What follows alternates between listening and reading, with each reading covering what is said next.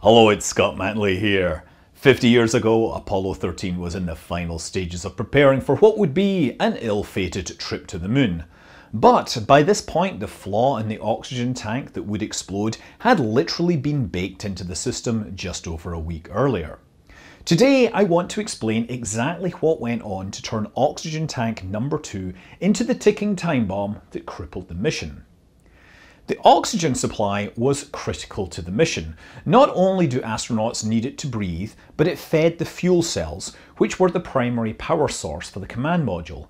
And the water that resulted from the chemical reaction in those fuel cells was itself an important resource to keep electronics cooled and to supply drinking water for the crew.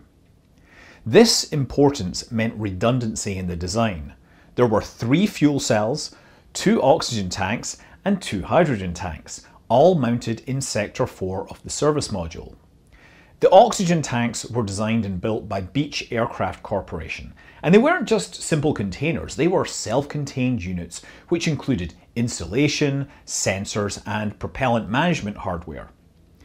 The oxygen tanks were 66 eh, centimetre diameter Inconel spheres, which would carry 148 kilograms of liquid oxygen.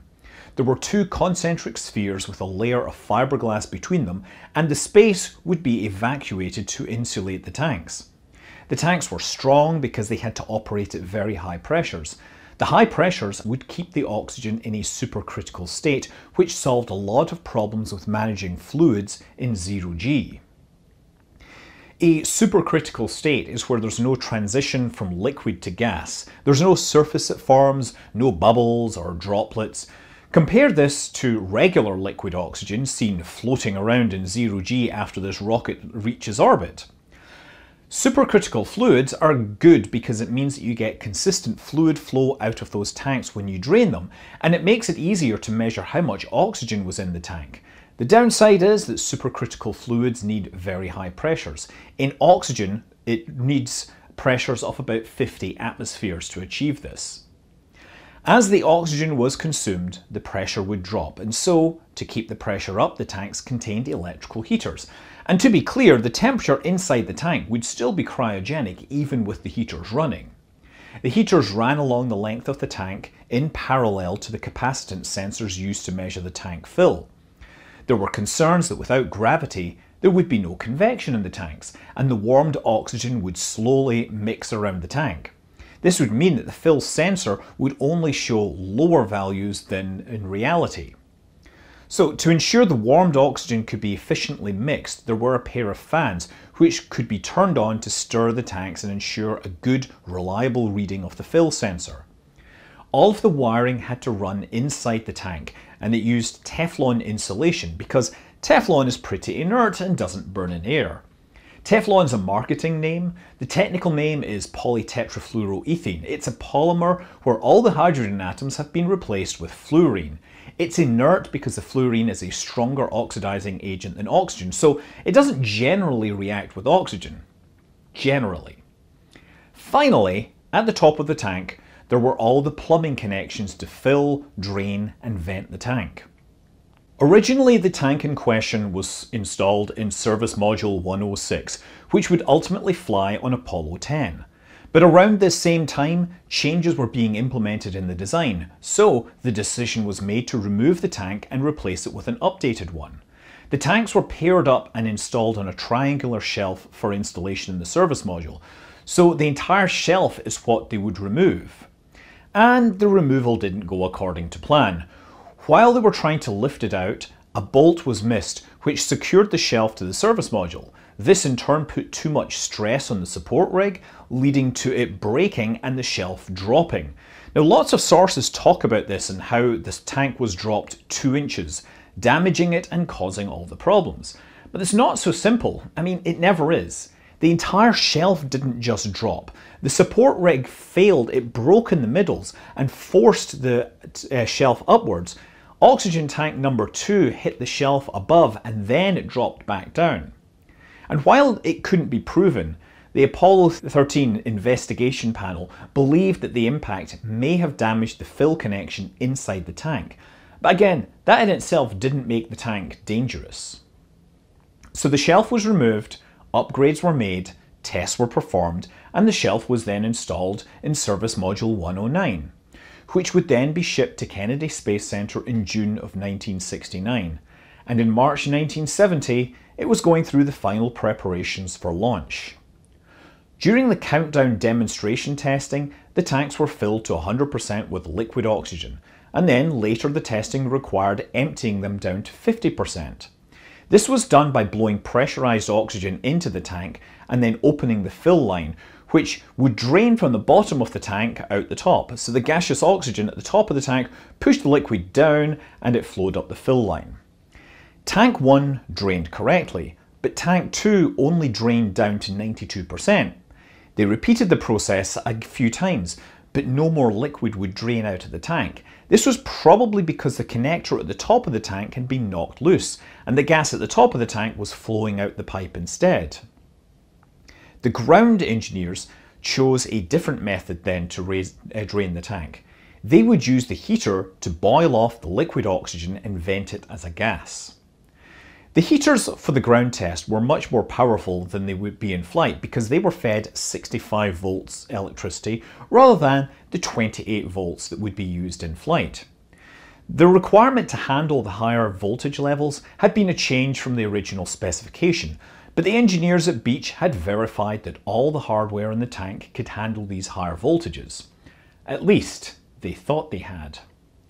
The heater included thermostats, which would cut the power to the heaters if it went above 80 degrees Fahrenheit or about 27 Celsius. The switches were originally spec'd for 28 volts and they had been tested to show that they could carry 65 volts just fine, but somehow the switching action had never been verified at 65 volts and it turned out that the higher voltages welded the switches closed. So at one point during the ground testing, the tank had been left with the heater energised for 8 hours, and without the thermostats working, the temperature reached probably over 500 Celsius, well above the point where we start to worry about Teflon breaking down. The wire insulation was very likely damaged during this testing, but there wasn't any outward evidence of this. The problems with emptying the tanks were discussed amongst the engineers, it was estimated that it would take two days to replace the oxygen shelf, then more to redo the testing, and this whole procedure also came with the risk of damaging something else. The problems with emptying the tank on the ground wouldn't have an impact on the flight performance in zero G, so the decision was taken to proceed with the tank. And so Apollo 13 proceeded with its launch, and 56 hours into the mission, just before scheduled sleep time, Mission Control requested the oxygen tanks be stirred to help assess another unrelated problem. It wasn't the first time they'd run the fans, but this time something shorted out.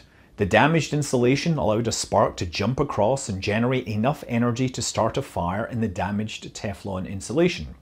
Now, if you've seen the movie Apollo 13, you might think that flicking that switch was like triggering the detonator, detonator in a bong. 13, we've got one more item for you when you get a chance. We'd like it to uh, stir up your cryo tanks. In addition, uh, I have a shaft and trunnion Okay, for a look at the Comet Bennett if you need it. okay. Stand by. Okay, yes, we've had a problem here. But in reality, it was more than a minute between Jack Swigert flicking that switch and the explosion. As I said, Teflon doesn't burn in air, but at 50 plus atmospheres of pure oxygen, it can sustain combustion. Under those conditions, it can burn into carbonyl fluoride or carbon dioxide and carbon tetrafluoride. Now, none of these are hugely energetic reactions, and when NASA performed tests afterwards, they estimated that it would burn along the insulation at a rate of a few millimeters per second.